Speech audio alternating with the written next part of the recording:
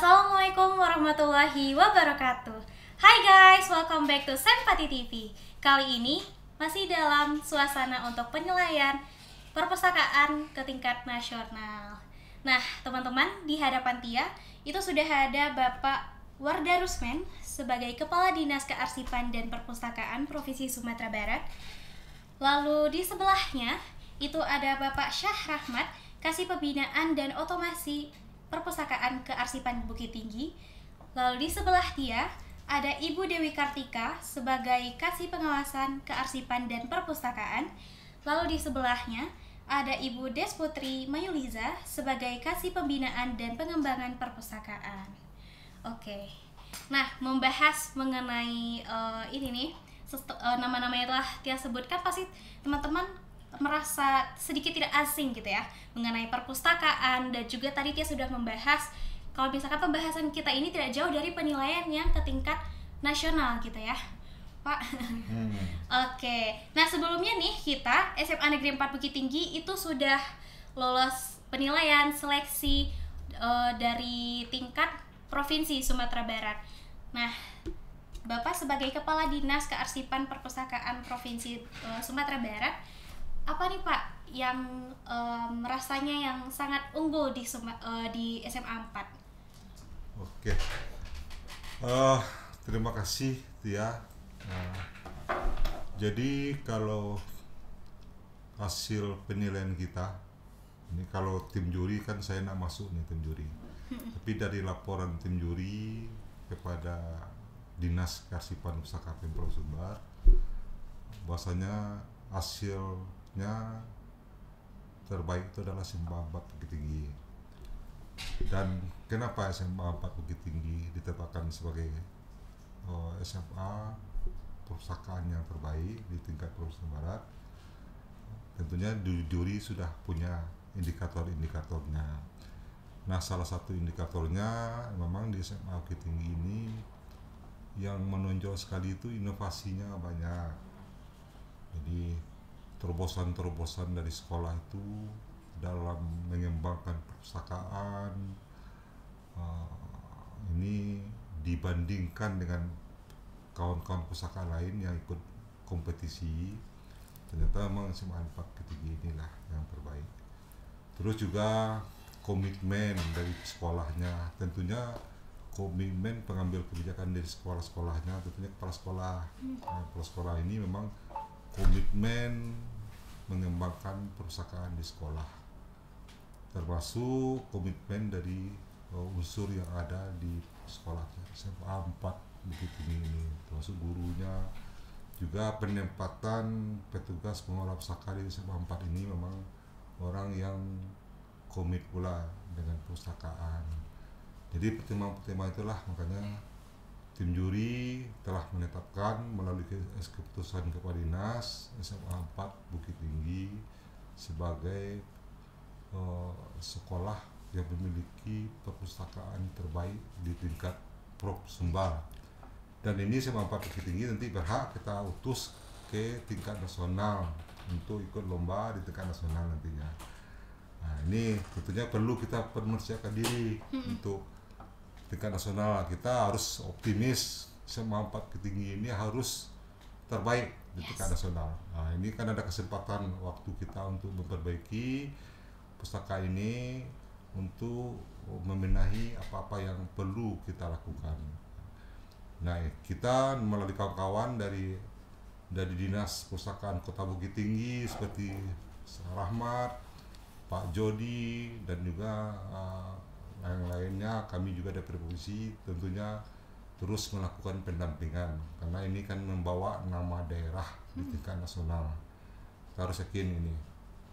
Ini tuh ya Tia. Oke, lalu setelah Bapak berkunjung langsung nih ke SMA hmm. 4 setelah melihat perpustakaan, hal apa yang paling menarik perhatian Bapak gitu?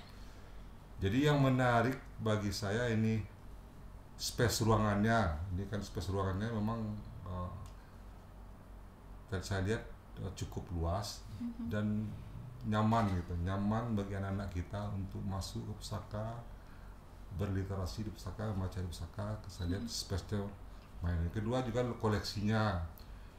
Tadi saya lihat koleksinya kalau sekolah saya lihat dari dari beberapa sekolah saya lihat koleksinya memang banyak buku buku apa buku wajibnya buku buku kurikulumnya untuk pelajarannya buku umum. Ini enggak, dia boleh dikatakan tidak ada gitu kalau di sekolah. Nah, ini saya lihat presentasinya perbandingannya cukup uh, cukup bagus sesuai dengan aturan perpusnas jadi ada 20% buku umum buku fiksi. Nah ini kan bagus. Terus juga ada klinik apa nama tadi klinik biblioterapi. Bibliografi ya ini juga untuk ini bagus ini untuk mengembangkan apa nih potensi anak-anak kita ke mana diarahkan anak kita ini potensinya di mana. Terus juga ada anak yang yang ada persoalan mungkin dalam apa dalam proses belajar pelajaran nah ini kita bisa di difasilitasi oleh guru didiskusikan oleh guru nanti diarahkan anak tersebut sehingga mereka bisa mengembangkan diri. Juga ada tadi ada simpati finansial finansial juga bagus ini simpati kan? Terobosannya juga bagus inovasinya juga bagus simpati inova, apa nih simpati finansial bekerjasama dengan bank. Kacil simpati. Casio simpati namanya tadi ya. Casio simpati ya. Itu bagus namanya.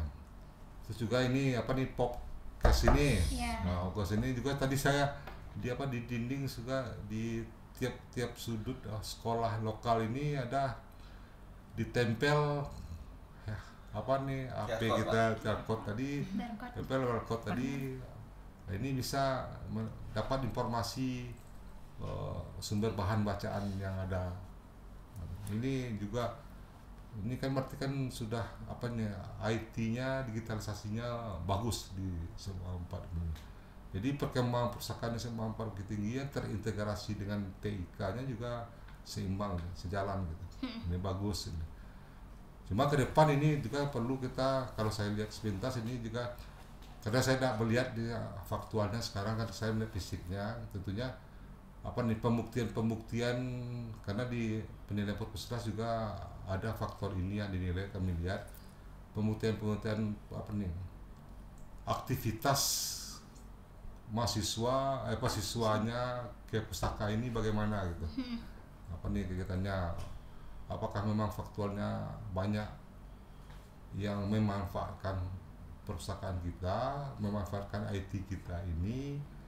Oh, apa nih apa nih seperti ini simpati apa namanya? Simpati Gedor TV. TV ini juga apa nih peranan publikasinya bagaimana? Ini kan ini faktualnya perlu dibuktikan untuk lomba di tingkat nasional nantinya.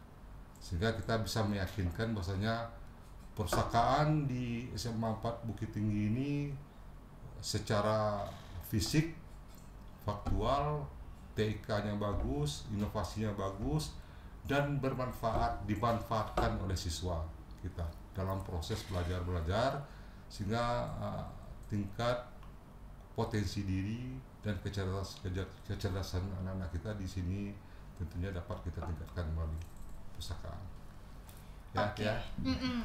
Nah, membahas eh, mengenai QR barcode tadi Hmm. yang eh, telah Bapak eh, kasih tahu. Nah, nih teman-teman eh, sedikit ya jelaskan mengenai hal itu sebenarnya em, ada informasi eh, informasi mengenai tumbuh-tumbuhan atau mengenai kari-kari pembelajaran dari sekolah, Pak. Jadi kalau misalkan kami eh, lewat ke tiang-tiang gitu ya, sekilas membaca karena dia kan menonjol gitu Iya. kan, Pak. Menonjol terus eh, ada tulisan eh, salah satunya yang paling tidak ingat tadi munculnya bintik hitam. Karena apa ya? Kan jadi kepo. Kata-kata eh, ya karena apa ya? Dan informasi yang rasanya emang terjadi di kehidupan sehari-hari. Akhirnya karena kita emang kepo dan emang mengaplikasikan hal tersebut. Kita semua udah eh, mempunyai handphone dan juga fasilitas eh, beberapa titik wifi di sekolah. Akhirnya itu emang bermanfaat gitu. Loh jadi emang setiap harinya ada literasi dari siswa secara tidak langsung gitu ya pak Iya, ya iya, iseng-isengan karena rasa kepo kan Iya. karena kan ras- eh, remaja itu rasa ingin tahunya besar rasa ingin mengeksploitasi diri dan sebagainya oke lalu Ini artinya bagus ini untuk memancing apa nih memancing Iya. ke arah literasi yang sebenarnya gitu. Iya. Bagaimana mema- memanfaatkan kata-kata yang Iya. bijak yang Ah, benar iya. strategi bahasanya nih yang di- dipergunakan oleh tim dan juga guru untuk menarik eh, peminat pembaca siswa Iya. pak oke lalu dia juga sedikit eh, kepo ya pak kenapa diperlombakan untuk penilaian perpustakaan gitu Oke. Jadi eh, ini kan eh, kenapa diperlombakan perpustakaan di tingkat ada kategori SMA, SMK. Hmm. Ya, sebenarnya ini kan perlombaan ini tiap tahun diadakan oleh sebenarnya oleh Perpusnas. Hmm. Nah, tentu Perpusnas masing-masing daerah melalui kami dimintakan untuk melakukan seleksi di tingkat daerah. Perpusnas melaksanakan ini tentunya dalam upaya bagaimana meningkatkan minat baca, budaya baca di masyarakat. Tentunya minat baca ini faktor yang dominan menumbuhkan minat baca ini dari sekolah. Ya. Bayangkan kalau anak-anak sekolah tidak ada yang yang katanya tempat proses belajar belajar tapi minat bacanya rendah. Makanya untuk memotivasi sekolah dengan me- mengadakan lomba perpustakaan ini. Jadi kenapa yang dinilai pusaka? Karena oh, tumbuhnya orang membaca berliterasi ini tentunya di konteks di pustakaan. Ya, jadi orang mengambil koleksi termasuk digitalisasinya tentunya dari pustakaan. Jadi bagaimana agar sekolah itu fokus memperhatikan komit terhadap pustakanya di masing-masing sekolah. Tentunya dengan ada lombanya ini SMA 4 punya eh, tahun sekarang juara satu dengungnya kan ke Sumatera Barat. Hmm.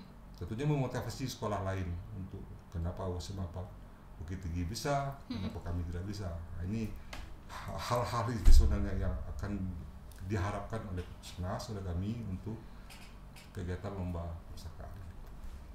Gitu ya, ya. Iya, oke. Nah, eh, Bapak Tia mohon izin ke Bapak iya. Syah Rahmat ya, boleh. Eh, Bapak Syah Rahmat sebagai Kasih Pembinaan dan Otomasi Perpustakaan Kearsipan Bukit Tinggi. Dia udah sedikit tahu karena kita sering bertemu juga ya Pak, tapi bisa jelaskan lagi ke teman-teman sebenarnya tugas Bapak ini apa sih? Ya, eh, kita di perpustakaan, ya Assalamualaikum warahmatullahi wabarakatuh. Ya, kita di perpustakaan memang ada hal-hal yang memang harus kita tingkatkan. Nah, makanya memang eh, tugas dari dinas, tugas dari pemerintah daerah mau provinsi mau Sumatera Barat itu eh, bagaimana supaya perpustakaan di seluruh wilayah tumbuh dan berkembang. Nah, tentu saja kalau di Bukit Tinggi itu ada dinas perpustakaan kearsipan Bukit Tinggi, sementara ada dinas perpustakaan kearsipan Sumatera Barat.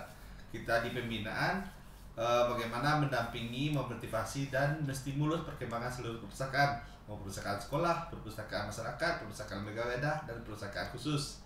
Nah, kalaulah perpustakaan di seluruh wilayah dan masing-masing perpustakaan itu telah berkembang, jadi finalisasi kegiatan kita yang pemasyarakatan minat baca dan pembudayaan literasi itu akan berjalan dengan baik.